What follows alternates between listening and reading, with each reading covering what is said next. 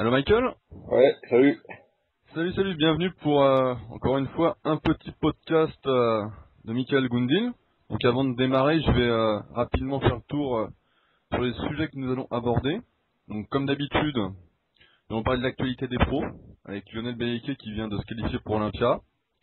Nous allons parler de l'échauffement, de comment progresser sur un point faible, également de comment gérer sa récupération au niveau de la fréquence des muscles, comment gérer la perte de gras au régime, ainsi que euh, où ça en est vis-à-vis des suppléments au niveau scientifique, donc l'hydrolysate whey, et on va aussi parler de ceux qui ne prennent pas de suppléments, comment gérer leur auto-entraînement. Et on finira donc par aborder le home gym idéal pour ceux qui s'entraînent chez eux. Donc on va commencer par l'actualité des pros. Donc que se passe-t-il en ce moment, Michael Je crois que depuis la dernière fois, il y a eu au moins deux concours pro. Je sais plus s'il y avait le New York Pro, on en avait parlé ou? Je crois plus, mais je suis plus sûr. Bon, enfin, c'était Kairin qui a gagné de mémoire. Donc euh, ça le requalifie pour Olympia. Donc il avait foiré Olympia l'année dernière. Il Ouais, est arrivé ouais. complètement au chou et là il est arrivé en forme ou? Ah, là, il a, alors, euh, va savoir pourquoi. Il, il a changé d'entraîneur. il est passé avec qui? Bah, je crois que c'est Farah maintenant. euh. Farah, l'autre, le pro là? Je crois qu'il est avec Farah. Bah, il y a, la plupart des mecs sont avec Farah maintenant. Ah bon, ils sont avec l'autre Saint-Olé là, l'autre pourri? Bah, il est euh, comment C'est lui qui attends, c'est lui qui fait pratiquement tout le monde. euh, Ah il bon fait euh, comment euh, le gars du Texas là, qui a grosses cuisses, Van Schwarren, son son partenaire, il fait donc euh, Green. Maintenant, ça a été un gros. euh, Non, il fait il fait pratiquement tout le monde maintenant, sauf Cutler. Ça c'est incroyable parce que Steve quand on le voyait en compète, franchement, avec son Saint-Ol dans les biceps, euh, Ça fait longtemps qu'il prépare des mecs parce que quand euh, j'en avais parlé avec euh, ah zut un pro dont je me souviendrai jamais du nom, un gars qui avait grossi euh, euh, vachement vite quand il était venu euh, au salon à Paris et le salon il était encore à Vincennes. Donc, ah, ah, Art Food, t'avais parlé. Voilà, voilà, Artartout, j'en avais parlé. Et il m'avait dit qu'il avait laissé tomber Chad Nichols pour euh, Farah déjà. Donc ça veut dire que le mec il prépare des mecs depuis euh, 10-20 ans quoi. Ça c'est dingue, hein. J'aurais jamais cru que ce mec-là percerait en tant que préparateur. Quoi. Sur scène, je voyais qu'il était déjà privilégié pour ses classements. Si, si, euh, bah le problème c'est qu'attends, euh, il... déjà d'être pro avec ce qui lui est arrivé, c'est qu'il est, il est, il est, il peut mourir et tout. euh. Ouais, ouais, il y avait une grosse cicatrice sur, sur le bide. Et il l'a ouais, il l'a toujours, euh, parce qu'il s'est fait tirer dessus. euh. Il a pris, plus- pris plusieurs bastos dans le bide, euh, donc euh, de pouvoir encore remonter sur scène malgré ça. Donc là, t'attribues la forme de Kai Green à son nouvel entraîneur. Ah non mais euh, alors tu sais il y a plein de paramètres mais euh, on voit qu'avec Oscar il était pourri à répétition et puis là il change d'entraîneur et il est euh, bon les mecs disaient qu'il était pas aussi sec qu'il a jamais enfin qu'il il a déjà été un peu plus sec mais il était quand même pas mal quoi. Il il a bien remonté la pente par rapport à, à ses plantades en répétition à répétition quoi. Donc euh, par contre euh, bah ça lui laisse moins de temps de repos que Cutler par exemple qui se repose un an. Lui, il aura à peine six mois pour, pour préparer Olympia. Le temps de récupérer de sa préparation. T'en et puis, euh, récupérer, tu reprends du gras, après pour en reperdre, ça fait deux régimes euh, coup sur coup, quoi. C'est, plus de préparation, euh, chargé comme un quoi. plus pour lui, c'est trop, euh, sûrement, de préparation par an.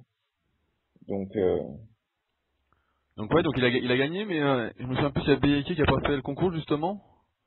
Euh, si, si, euh, mais il était, non, je crois pas qu'il ait fait un top 6, euh, il s'est fait remarquer, mais il a pas, euh, Parce que juste après, il a décroché un, un contrat, justement, avec... avec, avec AMI, euh, ce qu'on appelle euh, VDR, mais c'est plus VDR du tout, mais AMI, ouais. Donc qu'est-ce que ça lui ouvre d'avoir ce contrat, en fait? Ah bah je sais pas, faut voir les modalités du contrat, mais ça lui donne un tout petit peu d'argent euh, tous les mois. Et puis il a surtout le comment il a un journal assez gros avec lui quoi. Donc euh, ça lui fait un peu de pub. Ouais, donc normalement, on devrait le voir dans les magazines, si tout va bien. Non, on devrait le voir dans 20 magazines. Parce que il c'est toujours des contrats d'exclusivité. Mais euh, AMI, c'est pas Motion Fitness FX Si si si si ouais non mais dans je suis pas sûr que dans and Fitness ça apporte grand chose d'être là d'être vu là-dedans mais c'est dans Flex. hein. Donc là, il y a Beyeke, ouais, il avait pas fait peut-être top 6, et après, justement, il y a eu un autre concours. Ben ouais, euh, comment euh, au Canada, le Toronto Pro et il a fait deux là. Alors il aurait pu gagner ou il était beaucoup plus gros que celui qui a gagné, euh, je sais plus son nom, le mec de, de New York. Le mec de Mais New par York, ouais, contre, l'autre était euh, méga méga sec quoi. Donc ils ont privilégié la sèche sur la masse et ça fait qu'il fait deux quoi. Ouais, mais donc il est qualifié pour Olympia. Et donc préparé par Farah aussi. Je rigole. Bah ouais, Non. ça me fait rire, parce que Farah, moi, il était pourri ce type-là, quoi. Non, c'est Farah ou c'est l'autre. C'est ou c'est FT, euh, FST. euh, Ah, euh, Rambo.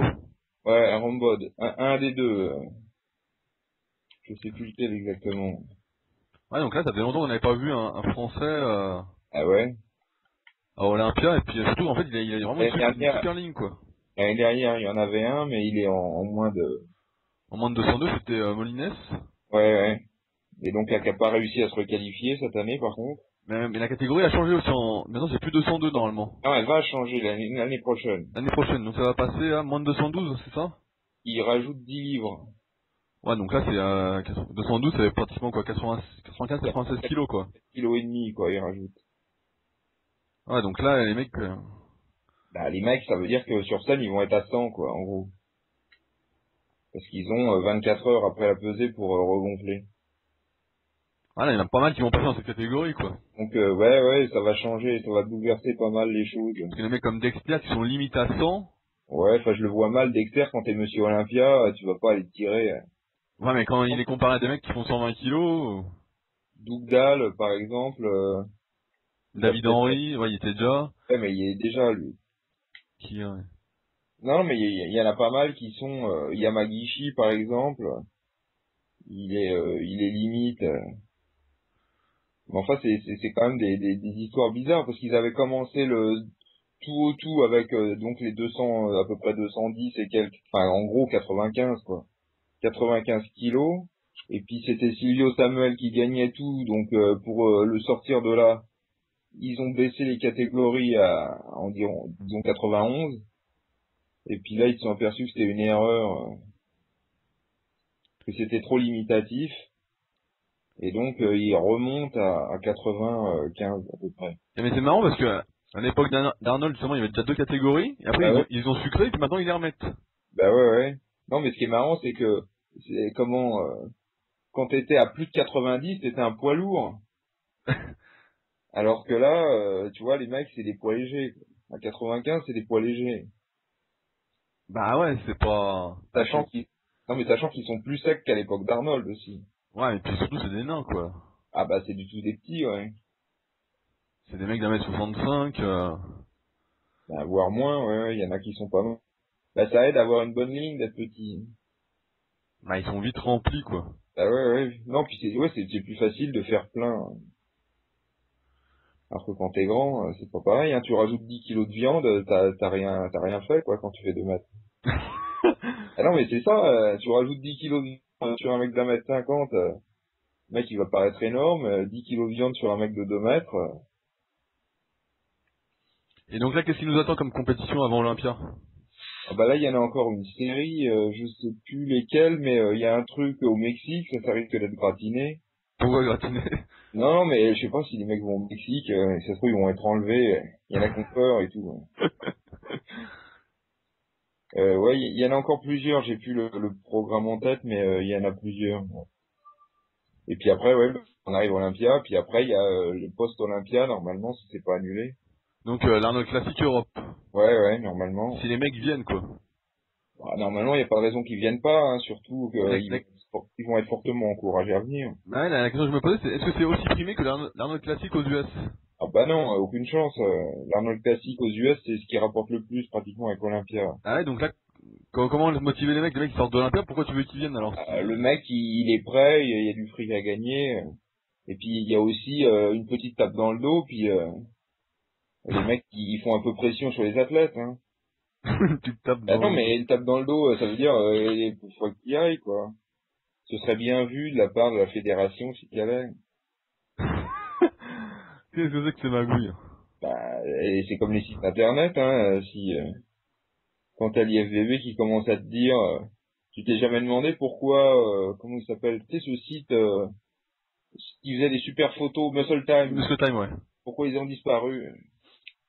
Bah, je sais pas, ils vendaient pas leurs trucs, c'était payant à un moment. Non, non, non, mais c'était, non, non, mais après c'était gratuit. Ouais, c'était gratuit, ouais, c'est vrai qu'ils n'existent plus, là. Ah ouais, bah oui, tu t'es jamais demandé pourquoi? Bah si, mais j'avais pas de réponse, je me suis dit, ça marchait pas leurs trucs, ils vendaient pas de Pas DVD. du tout, non, non, pas du tout. On en reparlera quand Joe il va mourir, je ferai un truc là-dessus. Ah, tu veux pas nous en parler maintenant? Ah bah faut laisser le suspense un peu, je laisse les gens euh, se demander pourquoi. Réponse au prochain podcast. Ouais ouais, pourquoi Muscle Time a disparu, pourquoi Eric Muscle il a failli disparaître et il, il- il a viré euh, il a viré son collègue euh, enfin il était obligé de virer son collègue. Alors que tu te dis, toi c'est comme si toi t'étais obligé de te débarrasser de Fabrice d'un coup parce que Non, c'est pas vrai. Ce serait dommage. Bah non, mais je veux dire, tu, tu vois, pour de, pour euh, quelqu'un de l'extérieur, il se dirait, mais pourquoi euh, t'as aucune obligation de virer Fabrice, quoi. Mais euh, Eric, Eric Smussel, il s'est passé quoi qui a été viré Et justement, Romano, John Romano. Romano a été viré? Ouais, ouais, pour la même raison que Muscle Time a coulé. Bon, on en dit pas, on en dit pas plus, et comme ça on abordera ça au prochain. Ouais, ouais. Le temps de réfléchir alors. Voilà, le temps de réfléchir. Pour On va voir essayer de trouver une explication bidon. Quand t'as une petite tape dans le dos de l'IFDB, euh, c'est pas forcément... euh, Donc, bénin. À part ça, il y a d'autres actualités en ce moment? Bah, euh, pas de pro, euh, je sais pas. euh. Je trouve quand même qu'il y a pas mal de vidéos qui sortent de groupe. Il y a maintenant il y a beaucoup moins de DVD. Avant on avait Ah bah, de les DVD. DVD ils ont coulé de toute façon. Moi a j'avais rencontré le mec de... comment?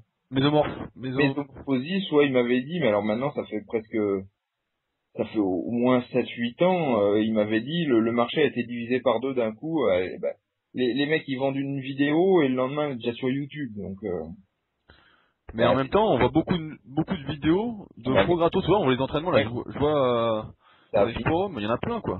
ça a fini de tuer le marché en même temps. euh. Ah, franchement, tu te connectes un jour quoi. T'as des fois t'as trois quatre entraînements de, de mecs quoi sur euh, sur internet quoi. Là, en ce moment il y a plus rien là, mais euh, ouais ouais c'est. il Ah, il y en avait pas- mal là. J'ai vu euh, hier, il y en avait trop d'un coup. Ah ouais non parce que t'avais du retard, euh, de, Non non non. Bah euh, peut-être qu'elle avait un jour quoi. T'avais du retard. euh. Mais c'est vrai que je suis surpris du nombre de vidéos qui sortent. Ah bah si maintenant euh, tout le monde y va de sa petite caméra et de ça. Bah, ça a fini par tuer le marché de- du DVD, ça c'est sûr que c'est une évolution, ça a évolué très vite quoi. Parce qu'avant, euh, il n'y avait pas un mois sans qu'il y ait deux trois DVD de pro qui, qui sortent quoi. Et puis bah pareil, pourquoi Muscle Time, pourquoi ils ont plus accès aux pro IFDB d'un coup? Bonne question. Ah. Ah ouais, ouais. On a entendu ton MSN. Ouais, après je le coupe. euh. Donc euh, c'est toujours la même euh, la même chose. euh. Non mais heureusement, enfin c'est c'est bien qu'il y ait beaucoup de des entraînements courts. En plus euh, c'est Ah, c'est plus sympa à regarder parce qu'avant tu te bouffais le DVD de Cutler qui durait 8 heures. ouais ouais, mais enfin moi je le regardais pas d'un coup. Non mais ce qui est bien, alors c'est Eric Russell qui qui fait ça euh, beaucoup. C'est que derrière t'as une voix off avec les commentaires pour euh, dire un peu le mec pourquoi tu fais ça ça ça. Ouais, t'avais une sorte d'interview en même temps quoi. Voilà ouais. Alors que par exemple des des euh, Mutual Development, euh, il y a pas ça et euh, c'est quand même euh, la qualité en dessous quoi. Du coup, de pas avoir l'explication, de la logique du mec euh, par en dessous quoi. En fait, euh, il a bien fait de se barrer de cette superviade musculaire développement, en gros Palembo. Il a pas eu le choix. Euh, il s'est fait louander. euh. Bon, maintenant on va attaquer donc euh, le, les questions d'entraînement. Donc l'échauffement en fait. Truc, un truc marrant pour l'anecdote. Euh, euh, comment euh, chez les pros, parce qu'il y, a, j'ai pas, bah pareil sur Eric Muscle on voit ça. Il y, a- il y a une marque sponsorisée par, enfin qui, qui sponsorise merde un noir là qui a fait le, le concours pro. Une marque connue? Marcus Marcus Allais voilà. Ah, marque c'est VPX, non Non, il y a pr- précision peptide, ça s'appelle. euh, C'est très. Ça me fait rire euh, maintenant. Ça veut dire que euh, comment, euh, en gros, précision peptide, ils vendent quoi? Ils vendent de l'AGH, de l'IGF1 et tous ces trucs-là. Ils vont à sponsoriser des concours de l'IFBB, plus des euh, comment, plus des euh, des, des culturaux pro. ah, C'est vachement bien pour les culturaux pro. Mais t'imagines la pub, ça va être, t'as vu ma GH, elle est vachement plus efficace que la tienne. Regarde, c'est pour ça que j'ai grossi. euh. Non, mais ça devient fou. Faut voir comment ça évolue ce truc-là, mais ça devient quand même complètement fou. Bah, faut voir si ça l'IFBB va pas enrayer ça euh, quand même quoi. Si c'est Ah ouais, mais si c'est du business. euh, Ah, mais Enfin- c'est- du business. Si, euh, y Attends, il y avait bien à un moment, il a des contrôles quand même. Je me souviens, il y a des, des ouais, bidons. et là, ouais, ouais, non, mais là, j'attends de voir comment ça va évoluer, mais je trouve ça euh, quand même assez drôle, surtout s'ils sponsorisent de plus en plus de pros, quoi. On va avoir des débats euh, sur la meilleure GH alors. Ouais, ouais, ouais, t'as vu, euh, ça c'est la meilleure marque, nos athlètes ils réussissent mieux que les, deux- les, la marque concurrente. non, ça devient un truc de fou, quoi. Là, je m'en là, je m'en viens. Quelle place reste-t-il pour le culturiste naturel enfin? Bah, pas en compétition, de toute façon. Bon. Donc, je reviens donc sur euh, que je vais te poser, donc sur l'échauffement. Donc, comment il évolue au cours du temps? Donc, toi, par exemple, comment il a évolué au, cours du temps? Donc, j'imagine que quand tu faisais, par exemple, tu t'es chauffé pour 100 kilos au coucher, tu t'es chauffé, tu chauffais pas de la même façon que si tu voulais mettre euh, 200 quelques années plus tard. Ah bah ouais, non, mais déjà, tu commences pas à 100, mais quand tu commences bas, euh, t'as à peine besoin, quand tu débutes, t'as à peine besoin de t'échauffer, parce que t'es proche de, des barres euh, assez faibles, et c'est vrai que plus, bah plus, comment tu montes en force, plus tu vas avoir besoin de t'échauffer. Euh, donc, Ouais. euh, comment comment faire pour justement essayer d'avoir le meilleur échauffement possible sans trop se fatiguer? Bah, ça c'est le, c'est un peu le, le dilemme, ça dépend quel, quel muscle tu travailles, mais Ah, on prend l'exemple des pecs, le mec c'est la question là-dessus. ouais, non, mais de toute façon, t'as toujours intérêt de commencer par la, la coiffe des rotateurs. Il faut faire un peu de coude et puis du biceps. Donc, coiffe des rotateurs, donc coude, tu veux dire un peu d'avant-bras, de triceps? Non, mais un peu de triceps, ouais, ouais. Triceps.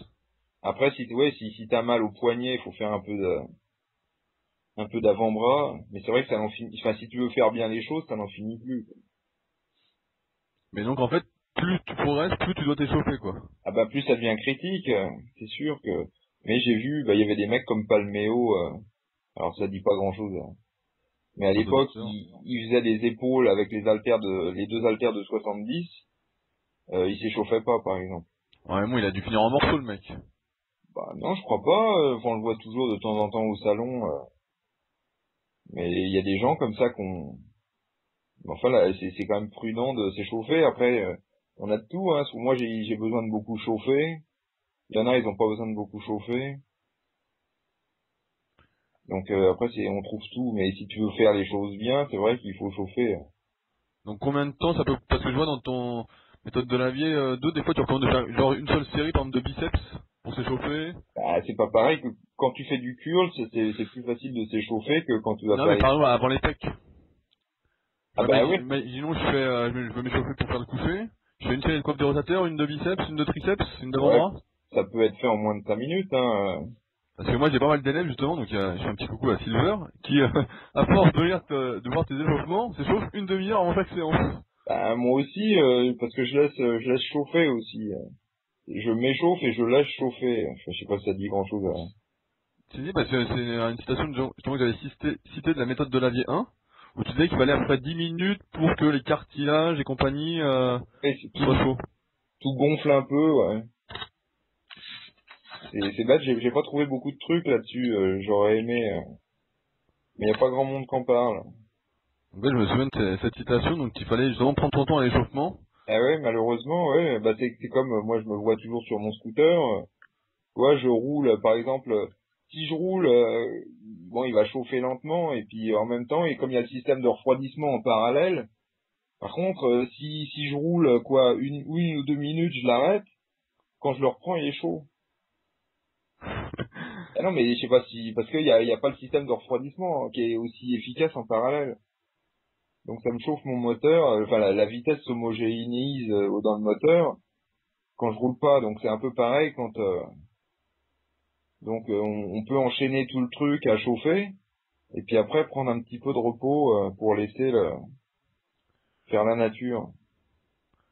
Donc en gros, la règle c'est de pas trop s'échauffer comme un dingue si on en a pas besoin, quoi. Parce que les mecs, les mecs ils ont peur, vraiment peur de la blessure en fait. Bah, de toute manière, c'est quand même prudent de faire les choses. Et après, ça dépend du combien de temps tu disposes.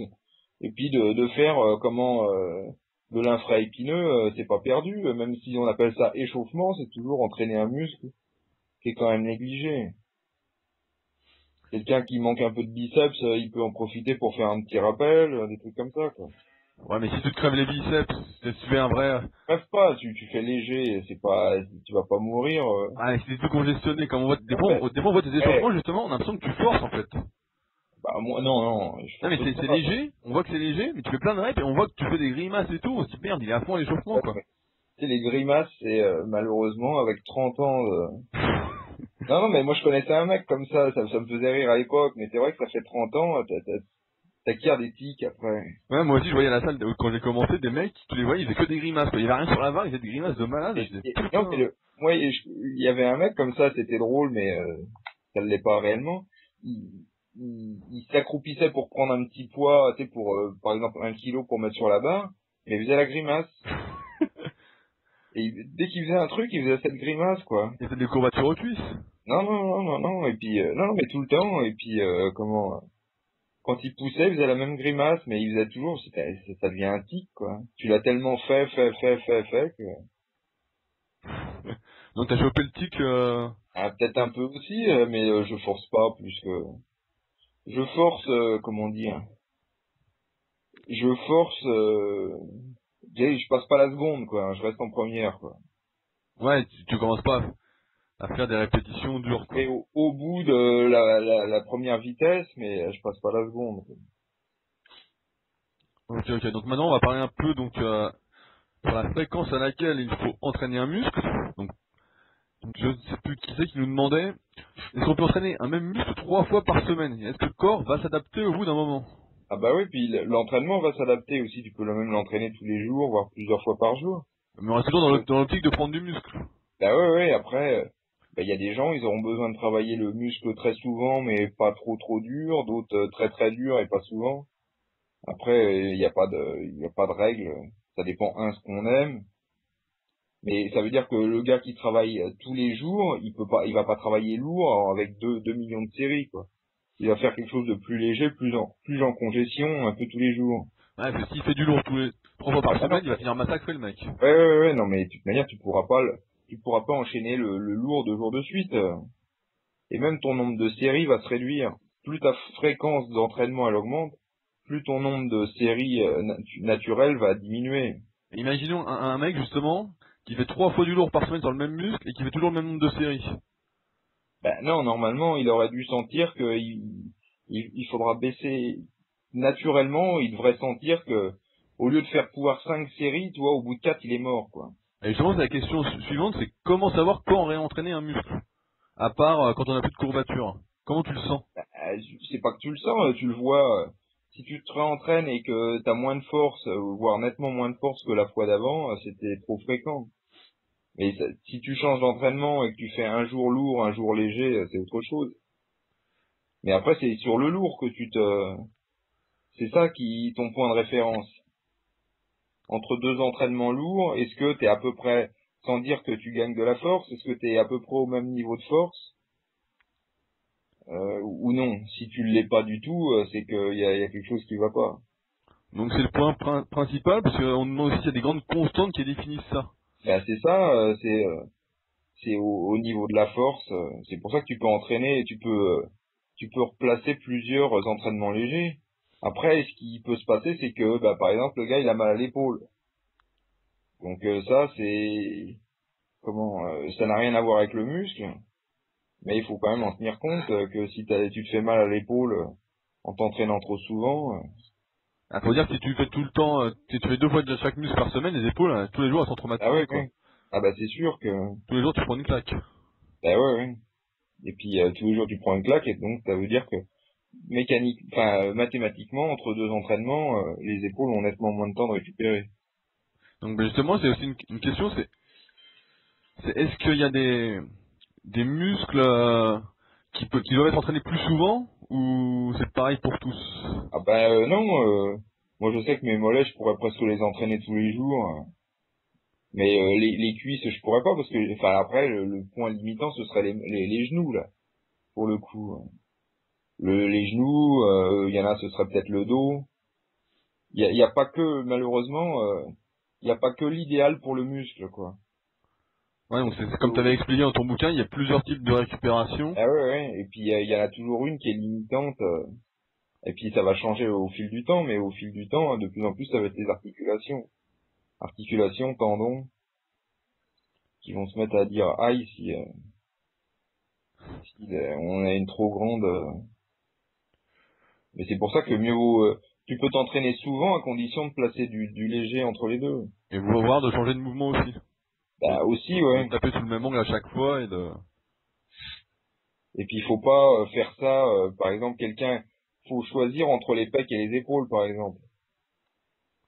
Parce que si le mec il, il se tape euh, 200 séries de pecs, euh, ça sert à rien de, de faire l'avant d'épaule. Bah, justement, c'est une question aussi qu'on nous pose, c'est est-il plus productif en termes d'anabolisme de rattraper par morceaux plutôt que par ensemble?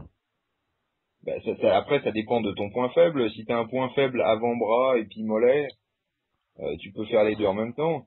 Si t'as un point faible, euh, disons euh, même quadriceps, euh, et puis que t'as pec en même temps ou dos, tu t'as- si, si t'as quadriceps dos, il faudra faire un choix entre les deux.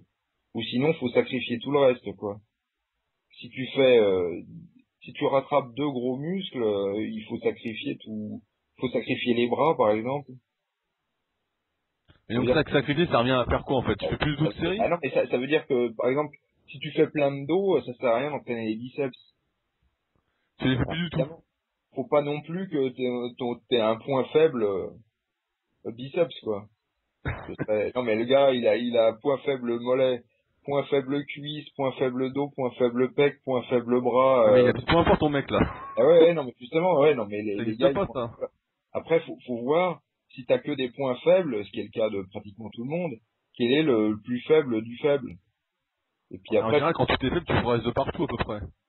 ah ouais, non, mais si tu progresses de nulle part, non, mais ou sinon, faut se dire, euh, bah tiens, euh, de toute manière, j'aurai jamais de cuisse, donc euh, je vais tout mettre sur les bras, quoi. Qui paye le plus Bah, il faut pas. Il y a des pantalons qui existent. euh, le, le côté pratique du truc, quoi. Ah ouais, comme il y a des pantalons qui existent, c'est mieux de faire les bras. Ouais. Euh, justement, donc, pour continuer sur les, les points faibles, est-ce que la capacité d'apprentissage moteur a des limites C'est-à-dire passer à un certain seuil où tu, tu cherches à apprendre à contracter le muscle, qu'à un moment ça sature. Ah bah non, euh, il progressera. euh, Enfin, ça, ça s'améliore toujours. euh, alors de moins en moins vite, forcément, comme tout, hein, mais tu, tu progresses toujours. euh, puis après, il y a des gens qui progressent de plus, plus, plus ou moins vite que d'autres, hein, mais euh, non, il y a toujours de l'amélioration.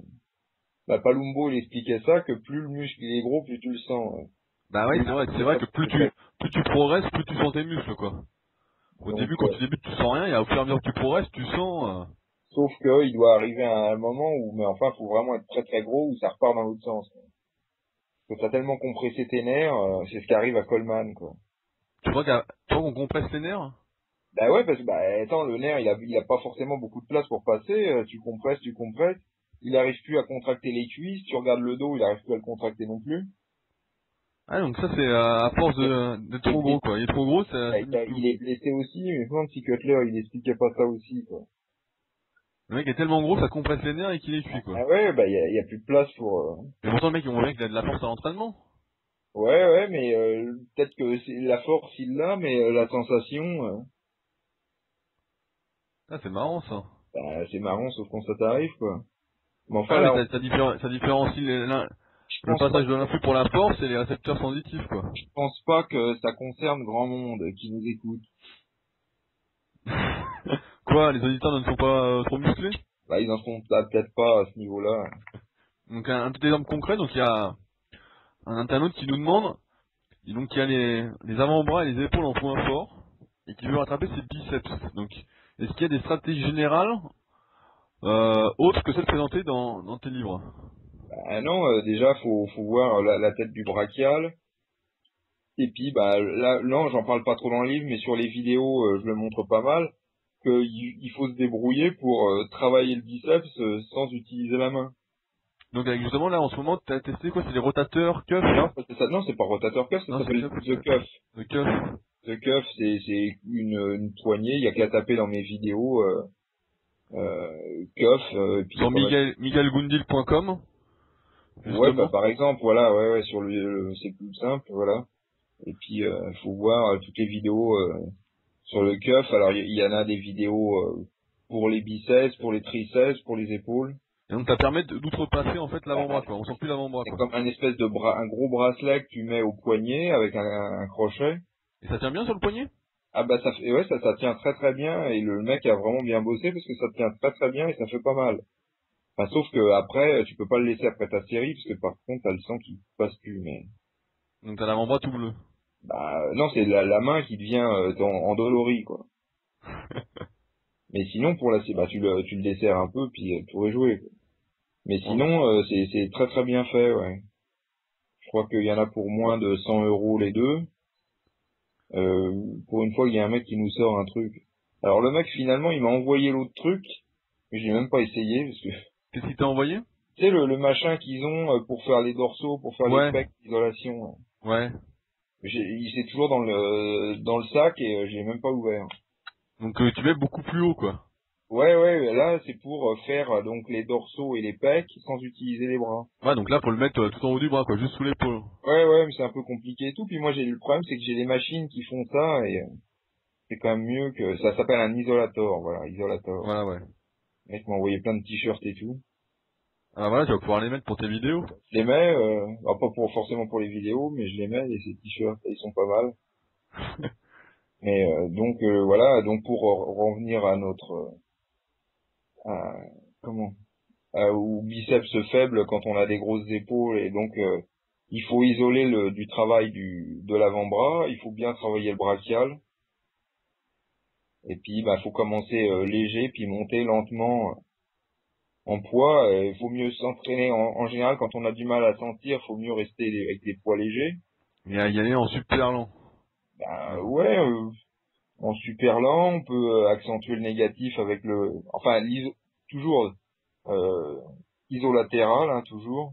Donc unilatéral tu veux dire? Ouais, par oh là là, unilatéral. ouais. Ah ouais, c'est là. I- non mais je pense parce que ah, c'est l'isolator qui m'a en, en en unilatéral, ouais. Et donc euh, voilà le- les stratégies. euh, Mais enfin c'est c'est mal barré. En général, c'est quand on, on a les grosses épaules, on a le biceps court, Puis quand on a des gros avant-bras, et à la, à la yette, ouais. euh, là c'est encore pire quoi. Quand t'as t'as le combo des deux. euh. Il faut pas euh, finir euh, comme yette, c'est le biceps arraché, quoi. Donc ne pas tendre les bras. Donc bah justement là ça va parler blessures. Pour quelle raison? Le fait d'être au régime va augmenter les risques de blessures. Bah là, je- on n'a pas beaucoup d'études, mais euh, c'est euh, c'est un fait que moins tu manges, déjà moins tu manges, plus tu vas ressentir les douleurs. Donc Donc, moins, euh, moins bien tu récupères quoi. bah, déjà tu récupères moins bien, et puis il y a surtout, il y a sûrement euh, une partie de de, de la structure euh, tendineuse qui doit se déli- déliter un peu. Euh, comme tu fais un peu moins de rétention d'eau, les articulations sont peut-être moins bien hydratées. Donc euh, tout ça fait que Il y a, y a aussi un peu l'ego quoi. Quand t'es au régime, t'acceptes pas de voir tes barres diminuer. ouais ouais Tu veux forcer pour les garder.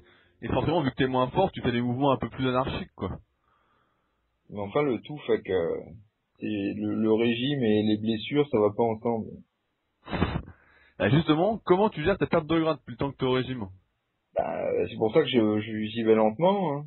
Mais co- comment tu, tu gères? Tu dis je perds euh, 200 grammes par semaine ou? Non, bah je non, je, je je regarde pas comme ça. Je regarde ce que je mange, je réduis un peu. Et puis arrive ce qui arrive. euh, Je compte pas.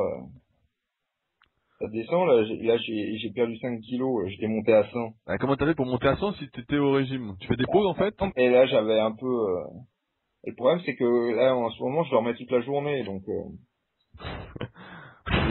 Enfin, j'étais, ouais, enfin, j'étais, euh,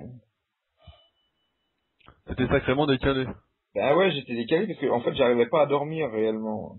J'avais eu beaucoup de mal à dormir, ça fait que je passais toute la journée au lit, à essayer de me reposer. Donc, euh, forcément, si tu, tu bouges plus, tu fais plus rien, euh, tu reprends du poids, quoi. Donc en, en mangeant pareil quoi. Ben, en mangeant pareil, ouais. Donc ta perte de gras, tu la gères un peu à l'œil quoi. Ben, ouais, non, mais je vois, euh, j'ai, ben, j'ai dit, euh, par exemple, ben, tiens, je retire un, un encart, et puis dans, avant de me coucher, où je prenais un peu de céréales, maintenant, euh, je prends plus de, de, de la protéine totale, et puis c'est tout, quoi. Ah tu prenais un peu de glucides avant de dormir? Je- un peu, parce que des fois, ça, ça, ça tombait, euh, comment, en plus, faut voir comment, euh, si je mange pas avant de dormir, comme je dors en deux trois fois, euh, donc je me suis dit avant que je me couche, maintenant euh, je mange plus de, je prends plus de, je prends plus de la protéine totale, donc et puis après la perte de poids, advienne ce qui, ce qui va arriver quoi. Je compte pas, je fais pas le contraire quoi. Je me dis pas tiens je vais perdre un kilo par semaine. Ouais, tu vois comment ça vient, quoi. Voilà ouais. Et là, là t'as perdu 5 kilos, donc t'es à combien 95 Ouais je suis à 95. là. Donc, euh, pour continuer là-dessus, donc co- comment tu gères Donc toujours sur ta diète, en fait? Comme tu prends beaucoup de temps de récupération entre les séries, est-ce que tu prends quand même des glucides entre les, les Bah, séries pendant l'entraînement? Dans ma bouteille euh, j'ai euh, j'ai euh, comment du, du, du dextrose dans ma bouteille. Et puis euh, si je sens que euh, comment euh, j'ai besoin, euh, je, je reprends en protéines plus euh, maintenant on a un truc qui est vachement bien, c'est les, les comment Alors moi je prends de l'orge mais euh, ça peut être de l'avoine en poudre. Ça c'est c'est vraiment euh, c'est vrai que ça paraît tout bête par rapport Mais c'est vrai que c'est vachement bien. Moi aussi, j'en ai, et c'est vachement pratique, quoi. et puis ça évite justement de prendre les glucides un peu à la con alors qu'ils étaient pratiques du genre le dextrose et la maltodextrine à haute dose quoi. Donc Et là, en fait, en- entre tes séries, tu prends du dextrose, et si tu sens que tu fais un peu une hypo, tu te fous un coup de flocon. Ouais ouais, enfin c'est pas le flocon là, c'est de la poudre. Je mets ouais, Ouais, mais c'est ça, des euh, poudres d'orge, flocons d'orge. si je sens que c'est l'hypo, euh, je vais pas prendre de la whey par contre. Je vais prendre euh, la protéine totale. hein. Parce que la whey, surtout l'isola, c'est hyper hypoglycémiant. Donc euh, si t'as une hypoglycémie, euh, c'est pas bon. Donc ça, et euh, tu sais après la quantité de, de glucides que tu prends pendant l'entraînement? Je sais pas, moi je prends. Non. Je prends. Bah ça dépend de la durée de l'entraînement. Ouais, comme tu sais jamais à l'avance combien de temps il va tuer, en fait, t'adaptes au fur et à mesure, quoi. Ouais ouais, j'adapte. Euh, des fois, euh, des fois, euh, je prends juste ma bouteille et j'en bois que la moitié. Des fois, je suis obligé de refaire. Ah, ça, ça dépend de la. Là, quand c'est comme ça, est-ce que tu jettes ton truc? Parce que moi, je me pose la question à chaque fois, je dis, est-ce que je le jette ou pas? De sera bon demain. Bah, imagine, tu fais ta bouteille de dextrose, toi, tu Ah, fais, tu Ah, fais non, un ouais. litre 5 Ah bah alors je vais te donner un conseil, enfin un conseil. Moi j'ai une bouteille de 2 litres. Ouais. Donc euh, toute bête ou le mieux c'est quand même les, les bouteilles de coca parce qu'elles sont super résistantes. Et le ce qui me reste de donc de dextrose, je le mets au congélateur. Au congélateur. Ouais, comme ça ça me fait un glaçon. Et pour le lendemain comme ça, j'ai euh, un tiers de la bouteille, c'est un glaçon. Donc euh, je prépare ma bouteille, je la laisse euh, je la laisse quoi un quart d'heure, euh, 20 minutes euh, comme ça. Et comme le, le glaçon il est plein de sucre, il va se casser facilement. Et ça, ça donne une euh, comment? Je sais pas comment on appelle ça, mais euh, y a- ils vendent ça comme boisson, tu sais, avec plein de glaçons dedans. Ah, ouais, ouais, ouais, attends, comment ça s'appelle Euh, ça fait ça, euh, je sais pas, un, un frappé ou je sais pas comment. Ouais, ouais, ouais, je vois ce que tu veux dire. Voilà, bah, ça me fait ça. Ouais, ouais, une sorte de, de, de glace, mais un peu pilée, quoi. Voilà, ouais, ouais, bah ça me fait ça. Bah voilà, on avait trouvé une astuce pour ceux qui... Bah je vais faire ça, Ouais, je vais bah, essayer euh, demain. plus, il faut que, il y en a qui supportent pas de boire de l'eau froide. hein. Ah, bah vu la chaleur en ce moment, ça peut faire que du bien. Non, mais ça veut dire qu'ils vont se taper la, il y en a qui vont se taper la chiasse direct euh, à boire de l'eau froide. Mais euh, moi, ça me fait rien du tout. Au contraire, moi, j'aime bien. euh, ça, ça aide à refroidir le bonhomme. Il faut, faut faire attention à ses dents et puis pas boire trop d'un coup parce que sinon, euh, si on- il y a le palais qui se refroidit, ça va geler le cerveau. Justement, comme tu prends des glucides pendant l'entraînement, donc on a une question, faut-il prendre des sucres rapides pendant, après l'entraînement, pour ou contre? Euh, Après, un, ça dépend dans quel. euh, si euh, tu fais 50 kilos, euh, que tu manges rien du tout et que tu as du mal à prendre du poids, dans cette configuration, tu peux y aller au glucide. Ouais, mais tu vas, tu vas quand même au, au glucide, à, au index glycémique? Tu vas genre après l'entraînement, tu te reprends euh, Non, mais 50 moi, de euh, dextrose Justement, je parlais non, mais je parlais justement que la poudre d'avoine ou la poudre d'orge, c'est quand même, c'est quand même beaucoup plus sain déjà comme glucide que des trucs euh, qui ont été hydrolysés de maïs ou. Ouais, donc en fait, c'est plus des sucres rapides, quoi. C'est comme... Euh... Ouais, enfin c'est quand même rapide, hein. C'est pas. euh, Ah, le d'avoine, c'est quand même assez lent. Ouais, mais c'est quand même assez, c'est, c'est quand même rapide. T'en étais pas à un quart d'heure près, quoi. Enfin, sauf si tu t'es fait faire une hypoglycémie, toi, le, le mec, il, il en prend pas avant, il en prend pas pendant, et puis il se dit, tiens, je vais faire un rebond juste après, quoi. C'était les bonnes idées. Bah voilà. Faut être plus constant et pas faire d'hypoglycémie et pas avoir à en reprendre beaucoup derrière. Ça me paraît d'une logique. euh, Bah ouais, mais comme on a tellement bourré le crâne pendant des, pendant des années à prendre sa grosse dose de dextrose, euh, stratégie de, de marathonien aussi, il faut faire attention. Ah ouais, mais on a tellement bourré le crâne pendant un moment avec ça que... Il faut mieux euh, avoir un, un apport euh, modeste mais constant. Et puis de, de bonne qualité. Le, le dextrose, maltodextrine, c'est bien à petite dose pendant l'entraînement parce que c'est pratique. Mais euh, sinon, faut pas en abuser trop non plus, quoi. Ouais, donc on est plutôt contre. Surtout maintenant, bah non, mais surtout maintenant qu'on a, avant on n'avait pas, mais maintenant qu'on a la, la poudre d'avoine, la poudre d'orge, c'est quand même beaucoup plus sain et comme sucre, quoi. Ouais, bah c'est. Euh... J'aimerais bien que tous les internautes entendent ça, parce que sans arrêt on a ces questions-là. euh. Ah ouais, non mais Pourquoi je prends plus de sucre après, après l'entraînement? Si les mecs te, le, po- te la posent plus, t'as plus de métier après, donc euh, Bah si, mais j'ai pu, j'ai pu répondre à d'autres questions. ouais. Et justement, donc si on n'a pas, si on prend pas de supplément, comment on gère sa diète autour de l'entraînement? Ouais. Donc comment je fais, mais qu'est-ce que je prends avant, pendant et après? Ouais, non mais alors là le mec, après, alors, euh, comment, est-ce que la, la poudre d'avoine, euh, par exemple, c'est un supplément, c'est pas un supplément? Quand tu vois vraiment ce qu'est euh, la protéine en poudre, euh, qui est jamais que du lait déshydraté, est-ce que c'est un supplément ou, ou c'est c'est quasiment de la nourriture Ça devient Ouais, mais le, le mec qui refuse les poudres, on va dire. Ouais, non, mais après, ouais, ouais, non, mais attends, bah, tant pis pour lui. Euh, débrouille. Ah non, mais attends, pourquoi, euh, pourquoi du lait en poudre, ça deviendrait euh, un truc de fou, quoi? Donc t'as pas de solution pour ce mec-là. Ah, qui se débrouille, euh, parce qu'il simplifie pas la vie, quoi. C'est l'avantage des suppléments, c'est que c'est quand même, euh, ça rend les choses beaucoup plus simples. Le gars, il va pas se taper un poulet. Alors après, ouais, mais il y a du poulet, euh, du poulet euh, chimique, euh, machin, faut du poulet bio, sinon, euh, ça fait... Ouais, mais par exemple, tu peux remplacer, tu peux avec- la, la, par des blancs d'œufs, quoi, par exemple. avec ce type de ouais mais alors euh, faut pas du blanc d'œuf de poulet en batterie t'en finis plus euh, si tu vas par là quoi Bah tu prends euh, du blanc. non mais attends non mais euh, si tu veux aller dans la logique euh, la protéine en poudre c'est pas bon le Bon. poulet industriel c'est pas mieux non plus Donc est-ce qu'on lui donne une solution quand même C'est la question. Donc il peut prendre par exemple du sucre en poudre hein, pendant l'entraînement. Ah ouais bah génial il veut pas ouais mais alors quelle est la différence entre par exemple de la maltodextrine et du sucre en poudre il y en a un c'est un supplément l'autre ça n'en serait pas Non mais c'est... attends non mais il faut parler sérieusement. La, la- comment la frontière entre les deux est très mince. Bah, Pourquoi du sucre en poudre ce serait pas un supplément? Bah parce que c'est solide à la base. Bah et la maltodextrine c'est pareil, c'est Ouais, mais encore en te est en poudre. c'est fabriqué. Ouais non mais le sucre, en quoi c'est solide le sucre, le sucre en poudre? C'est la même poudre et c'est les mêmes mecs qui te le fabriquent? Ouais, non, mais je veux dire, tu peux l'acheter. Ah ouais, parce que moi je prenais, j'avais oublié, je, je la prenais en carré. alors là ça va alors. Euh, faudrait, tu sais, une, une barre de protéines alors c'est pas un supplément. Ah non C'est pas un supplément.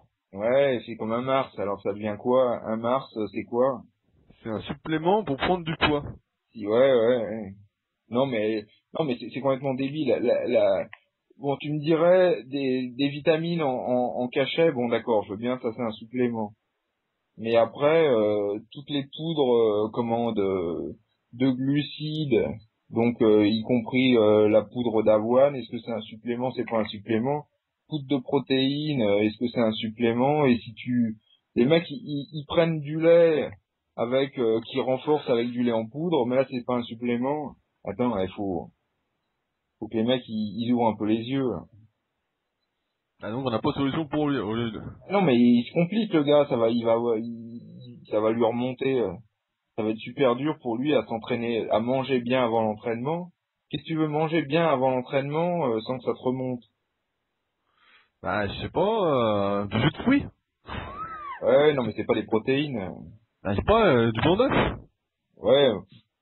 Non mais c'est vraiment compliqué, tu vois, le gars faut qu'il cuise ses blancs d'œufs euh, avant d'aller à la salle ou faut qu'il se gobe un œuf. euh. Ah non, bah s'il le prend en fruits, c'est pas bon. Ouais, non, mais je veux dire, t'en finis plus, quoi. Alors que hein, une protéine en poudre, ça coûte moins cher et euh, c'est fait en deux secondes. quoi. Bah justement, donc on a une question sur l'avancée des hydrolysats de ouais, où ça en est? Ben je sais pas, moi j'ai pas de nouvelles. euh, j'ai pas, euh, on avait, on avait testé des trucs, mais euh, euh, ça reste cher et puis je suis pas sûr que ça fasse. euh, ça vaille le prix, quoi. Donc euh, pas de news pour l'instant. Bah, euh, non, enfin à moins que le jour où ça apportera réellement quelque chose peut-être, mais pour l'instant ça n'a pas l'air euh, parce que c'est tout fait avec des c'est tout fait avec des whey de de récupération enfin de récupération de tous les déchets quoi. C'est tous les déchets de fromagerie. Donc déjà tu prends une whey qui est qui est comment une whey qui est entre guillemets saine, ce sera déjà ce sera mieux qu'un hydrolysa de déchets. Donc, euh, tout à l'heure, on a oublié d'aborder, donc, on avait vu un peu le régime intermittent là sur euh, le forum. Donc, qu'est-ce que tu peux dire là-dessus? Bah, euh, pas grand-chose, que c'est une possibilité de, de régime, mais enfin, moi, j'aime pas trop. Je préfère manger euh, régulièrement euh, moins que par intermittence. Quoi. ah, C'est vrai que moi, je me vois pas, par exemple, si tu bouffes 4000 calories sur la journée, manger euh, 3000 calories d'un coup, et après, t'as 6000 calories à bouffer, quoi. Tu Ouais, non, de- mais... Ouais, enfin, après, non, mais ça, ça dépend. Peut-être qu'il y a des gens pour qui c'est plus pratique. Quand t'as une famille, euh, tu comme ça, tu fais un repas en famille. euh. Ouais, mais tu veux faire un repas de merde, 3000 calories d'un Ouais, coup. Ah, Ouais, non, mais- à, à la base, on se disait, si on mange trop d'un coup, on fait du gras, quoi. ouais, non, mais bon, après, si si ça peut arranger certaines personnes... Ouais, faut- Attends, quand tu fais un gros repas, si ça t'arrive, après t'as envie d'aller au chiottes, tu vas chier, quoi. Ouais, non, mais je, je, je te dis, ça dépend de... Il y a peut-être des gens que ça arrange euh, de, de faire comme ça. Bon, c'est à la mode maintenant. Parce qu'ils font ça aussi pour la longévité. euh, parce que normalement, faut jeûner pour euh, la longévité. Mais Ouais, mais, beaucoup. euh, ouais, mais là, si on parle d'une optique santé, tu bouffes pas 4000 calories, tu manges rien. Ah, ah, non, ouais, tu manges moins. Et donc pour faire du muscle, euh, Bah, pour faire du muscle, de toute façon, euh, intermittent, euh, c'est pas bon. C'est plus pour perdre du gras. et du muscle avec. Bah, ouais, normalement, euh, le but c'est d'en perdre le moins possible. Mais bon, non, mais ça dépend. Parce que mieux vaut que quelqu'un suive un régime intermittent que pas régime du tout. Quoi. S'ils prennent sa barre de Mars en, supplément. Non, mais il fait comme il veut, mais il- je sais pas. euh, Après, il y a eu. enfin, je vais pas défendre un régime, euh, mais il y a peut-être des gens que ça arrange particulièrement.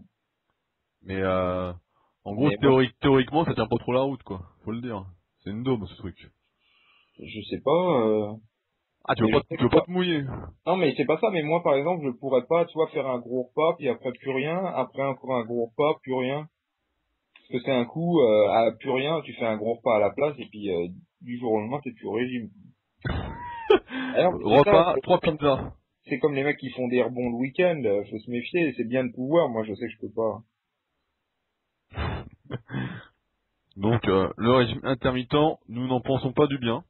Bah, pas moi j'en pense rien. euh, Ah, tu veux pas te mouiller à chaque fois. Non, non, mais si- s'il y a des gars que j'ai rien contre, s'il y a des gars qui le suivent et qui aiment ça, j'ai rien contre. Hein.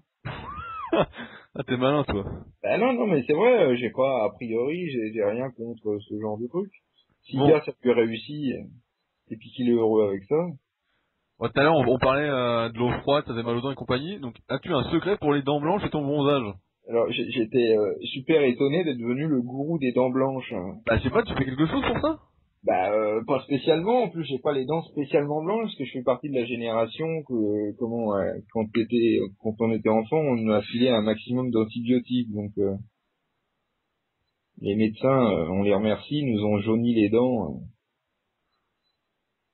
Euh. Donc, Mais euh, euh, tu prends quelque chose pour les dents? Ah, pas spécialement, euh, comment juste le produit qu'ils vendent. euh. Mais en fait, pour moi, ça marche pas des masses en plus, je trouve. C'est quoi? Bah c'est les, je sais plus euh, ce que c'est. euh, c'est des trucs que les, les, bah maintenant on en trouve sur internet, mais euh, chez ton dentiste, il, une espèce de pâte, il te fait une, euh, comment? Il te fait un, comment pas un dentier, mais il te fait un, une empreinte de tes dents. Tu mets de, de, comment la, cette euh, cette crème dedans, et tu te le mets sur les dents et euh, c'est censé euh, blanchir euh, la dentine, c'est-à-dire l'intérieur de la dent, pas l'extérieur. Bah, donc ça se verrait pas, alors. Ah bah si, parce que c'est l'intérieur de la dent qui euh, qui fait qui fait les dents blanches ou les dents jaunes. Après, ça dépend si si, si t'as les dents jaunes parce que tu bois du café, c'est superficiel. Mais en général, les dents jaunes aux antibiotiques, euh, c'est interne. Donc, tu ne fais rien. Et donc, pour ton bronzage, je sais que tu as beaucoup de secrets là-dessus. pour les dents, alors il y en a beaucoup. euh, bah, on a vu le Monsieur Ikea qui a recommandé de, de se brosser les dents au bicarbonate. Monsieur Ikea. Le fabricant euh, des chaises le pourvoyeur des chaises. Alors, faut pas faire ça. Parce que le, bah, si vous voyez du bicarbonate, c'est, assez abrasif, quoi. Si tu mets ça sur une brosse à dents, euh, au bout d'un moment, tu n'auras plus d'émail sur tes dents et elles seront pas plus blanches pour autant. Donc, euh, faut surtout pas. Si, si le bicarbonate, c'est juste fait pour remonter le pH. Alors maintenant, est-ce que on, a le temps de donner, de dire pourquoi euh, il faut remonter le pH dans la bouche? Je sais pas. Mais enfin, en, gros, si, on prend un verre de Coca-Cola, on met une, vieille dent dedans, il y aura plus rien rapidement parce que le quand le pH est acide, donc bas, l'émail est fragilisé et euh, quand euh, le pH est haut, euh, l'émail est, plus est plus costaud. Et malheureusement, quand on mange, le, surtout les, les saloperies qu'on nous donne, et puis ben, on, tous ceux qui boivent du Coca-Cola qui ont plus dedans, euh, ça descend le ça descend le pH. Donc les, bactéries en profitent euh, pour proliférer, alors que l'émail est, plus fragile, donc euh, ben, ça donne des caries. Donc l'intérêt du, bicarbonate pour les gens qui ont facilement des caries, c'est euh, après un repas, on, se rince la bouche avec du bicarbonate et donc on remonte le pH, ce qui fait que l'émail est mieux protégé et les bactéries vont moins proliférer. Et pourquoi dans ce cas-là, boire, tu bois pas de coca et puis ça va?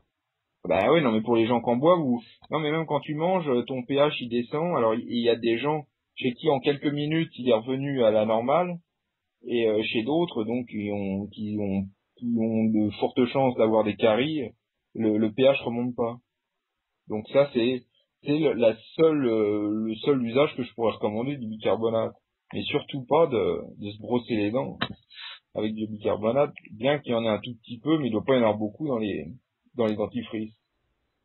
Donc il n'y a aucun secret pour avoir les dents blanches. Bah si le, le machin que et encore faudrait que ça marche, euh, Ah ouais, si ça marche pas des masses... euh, machin de- qui que les dentistes, ou je te dis, on en trouve plein sur internet. Je crois que c'est du peroxyde de, de quelque chose. Et donc euh, ça ça pénètre, ça, ça traverse l'émail et ça euh, comment ça ça, ça nique les ça flingue la couleur de la dentine, donc t'as les dents blanches après. Palumbo, il a les dents très très blanches. C'est un peu à l'américaine. Ouais, le sourire qui brille. Voilà, ouais, ouais. Donc tes bronzages alors, qu'est-ce que tu fais pour être aussi bronzé? Ah, là, le, pour être aussi bronzé. Ah si, t'as une couleur un peu orangée. Ouais, ouais, ouais, euh, comment, euh, bah là, c'est la- comment, la- je voulais faire des vidéos, c'est, euh, tous les produits, enfin, tous, tous les produits à base de DHA, alors, enfin, ne pas confondre avec la DHE, attends, DH, ouais, DHA, qui n'est pas, euh, comment, euh, Oméga 3. ni un oméga 3 ni de la DHEA, c'est c'est c'est un sucre en fait qu'on applique sur la peau et avec euh, en quelques heures il, il va il, il va oxyder les, les protéines euh, certaines protéines de la peau morte et ça te donne un, un teint bronzé. Donc Et- euh, donc, un c'est ce que tu peu fais. fan. Hein? Donc c'est ce que tu Bah, fais. pour avoir euh, pour être bronzé parce que les UV 1 c'est dangereux puis deux euh, j'ai beau en faire de toute façon à part d'être rouge ça fera rien du tout. Donc euh, ça c'est c'est une possibilité. Donc ça, ça se met comment? C'est en, en spray ton truc? Bah alors soit euh, soit tu tu le mets dans le dans un compresseur ouais. Soit moi je le mets avec un gant c'est le plus simple. Mais un grand, faut pouvoir t'en mettre partout et compagnie quoi. Ah bah ouais c'est un peu compliqué pour le dos mais on y arrive. ouais, Il y a des combines. Sinon bah le mieux de toute manière le mieux c'est quand même que quelqu'un te le mette. Et justement là, et les photos où je suis sur Facebook avec une nana là, où il y en a beaucoup. Ah ouais, mais avec quelle nana C'est la question, il y en a tellement. je sais plus, euh, je sais, j'ai pas son nom. Mais euh, il y en a, euh, j'en ai beaucoup parce que je testais un nouveau et c'était une copine qui me l'a mis au, au compresseur et quand j'ai regardé c'était immonde. Euh, c'était sa première fois aussi au, au, au- comment, au compresseur. Donc c'était immonde, ça fait qu'on en a remis une couche au gant par-dessus. Et là, sur euh, cette photo, on voit qu'il y en a beaucoup trop. Quoi. Style euh, couleur écrevisse. Ah, non, c'est pas couleur écrevisse. C'est vrai que c'est un peu orangé. Quand il y en a trop, c'est c'est un peu orangé. Mais donc justement, j'avais une question qui me revient là, de euh, Nezumi, là, qui est un modérateur sur le forum, une question à la con. Sur les filles, quel est le muscle qu'elles préfèrent? Il pense que t'es bien placé pour répondre. Les filles, le muscle? Ouais, qu'est-ce qu'elles préfèrent Quel muscle euh, chez les hommes préfèrent-elles? Ben j'en sais rien, mais euh, le mieux c'est d'avoir une bonne tête. Hein. Après, on, on parle de muscles. Ou des muscles ou pas de muscles. Et donc, de, de ton expérience, t'as jamais dit, euh, je préfère tes pecs ou...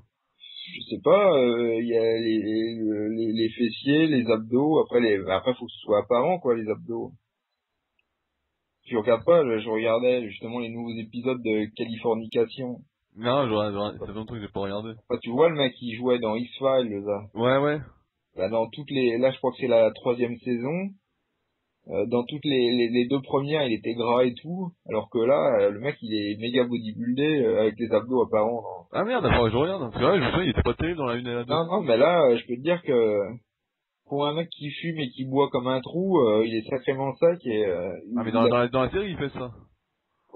Ouais, non, mais dans la, non, mais comment, ouais, dans la série, il fait ça, ouais, non, mais pour le caractère, enfin pour le, comment le personnage, quoi, le personnage qui est censé ne pas être sportif, etc. Là, je peux te dire qu'il a, il a changé du, son physique. Hein. Eh ben. Donc, euh... mais enfin, le mieux, c'est quand même d'avoir une bonne tête. Hein.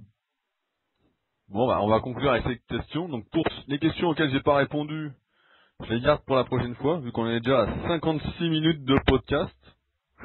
Et qu'on va espérer que les gens aillent au bout. Donc, comme d'habitude, je tiens à te remercier, Michael, pour ce petit podcast. Merci. Et donc, euh, à la prochaine. À la prochaine physique. Au revoir. Salut.